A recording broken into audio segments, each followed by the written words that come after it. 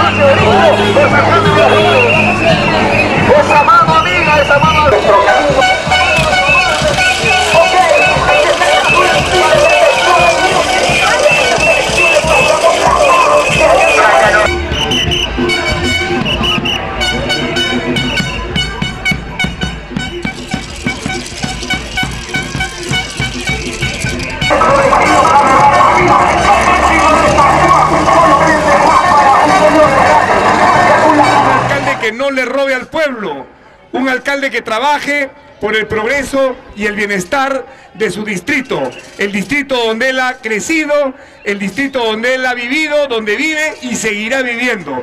Así que a seguir apoyando a Juan Carlos Celada.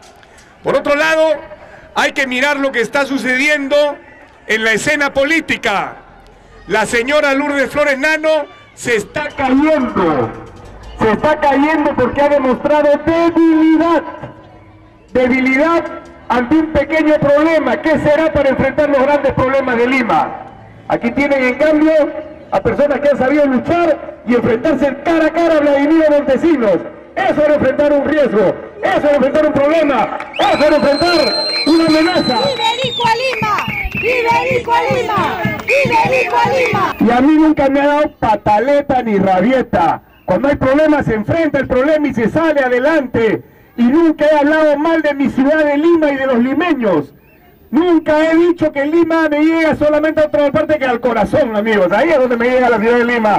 A mi corazón y a mi alma. Iberico a Lima, Iberico a Lima. Por eso, amigas y amigos, hay que trabajar intensamente estos 15 días. Sigan apoyando a Juan Carlos Celada. Yo seguiré recorriendo todos los distritos de nuestra capital.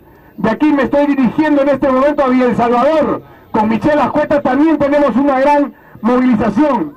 Y luego estaré dirigiéndome al cono este, a Lima Este. Se está movilizando una gran caravana desde Chosica, Chaclacayo, Ate, Santanita, porque Alianza para el Progreso sí tiene bases organizadas, sí tiene presencia en los distritos. Este no es un partido fantasmagórico ni un vientre de alquiler, es un partido que se hace con militantes, con ideas y con propuestas. Y finalmente, señalar que ya lo hemos demostrado en los debates, nuestras propuestas son sensatas, claras, coherentes y son realistas. Aquí nadie está fantaseando, nadie está volando. Queremos devolver la seguridad ciudadana a nuestros distritos, poniendo policías en las calles, que es donde deben estar, y no cuidando chifas y pollerías. Trayendo serenazgos, puestos de vigilancia. Eso lo va a hacer y lo va a asumir la Municipalidad Metropolitana de Lima. Y con los amigos transportistas, con ellos y por ellos, vamos a solucionar y modernizar el transporte público de pasajeros. Muchas gracias amigos y amigos y seguimos trabajando con Juan Carlos Solá, ¿sí o no? ¿Va a ser el próximo alcalde, sí o no? ¡Viva Alianza para el Progreso! ¡Viva Juan Carlos Celada! ¡Viva San Juan de Miraflores! ¡Viva Lima! Gracias amigas y amigos, gracias, gracias.